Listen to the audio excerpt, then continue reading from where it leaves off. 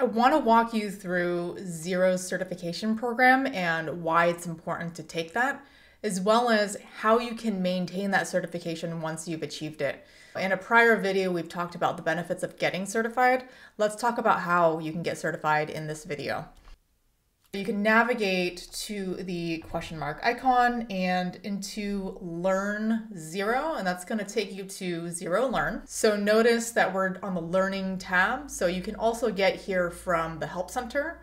Typically, you'll be on the Support tab. We're just now in the Learning tab. Gonna find a little tile here in the middle of the screen for Xero certification. So let's go ahead and click on that.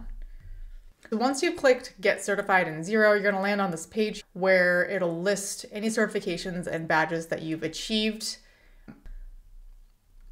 And if you keep scrolling down towards the bottom, you'll see the different options that you will have to get certified. There's a Xero certification course as well as a tile to help you maintain your Xero Advisor certification if you've already achieved that. There are additional badges that you can earn as well, including Migrate to Xero and also managing your inventory with Xero Inventory Plus. So let's just get into the Xero certification. Now there are three different ways that you can get Xero certified. Your first option is to get certified through a self-paced course. The benefit to this is that you get to, to do this on your own terms, on your own time, and come back to it when you have the time to do it. It is going to take about seven to eight hours to complete. Let's click into it to learn a little bit more about this option. Now, their certifications offer CPE credits. The self serve option gives you seven credits and will give you the most as compared to the other two options that are available to you. What it's going to cover are initial setup tasks, reconciliation of bank accounts, contacts, and so on and so forth. Let's head back to the other page and take a look at the other two options.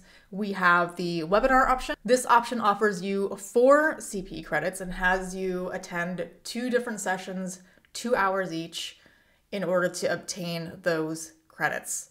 You do need to attend both of those sessions. They will take attendance to ensure that you've stayed throughout the duration of the webinar. And once you've been marked as attended for both of these sessions, you will receive your certification. So it's the same content from the self serve course condensed into four hours, split over two sessions.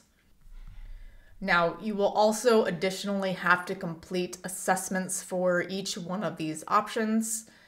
It takes about 20 to 30 minutes to complete, and all of the answers will be included in the sessions that you attend.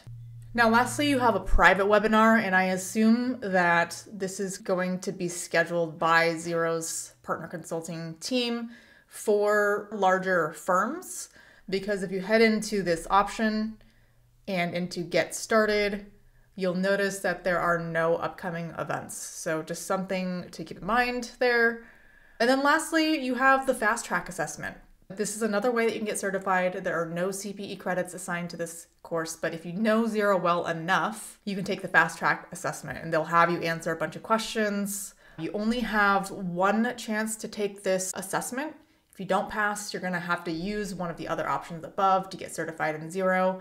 And again, the reason why you want to get certified in Xero is because that's how you're going to obtain the partner discounts on your Xero subscriptions. So you definitely want to get Xero certified. In the next video, we'll touch on how you can maintain the certifications once you've already been certified.